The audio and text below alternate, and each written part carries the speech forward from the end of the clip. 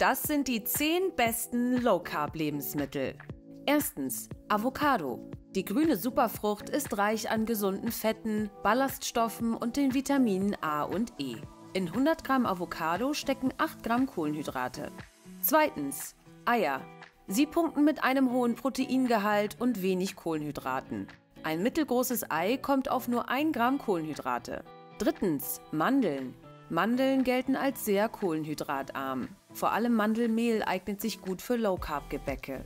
Viertens Lachs. Lachs enthält kein einziges Gramm Kohlenhydrate. Dafür ist er reich an gesunden Omega-3-Fettsäuren. Fünftens Käse. Je nach Sorte hat Käse sehr wenig Kohlenhydrate. Dazu zählen beispielsweise Gouda, Edamer und Schafskäse. Sechstens Pilze.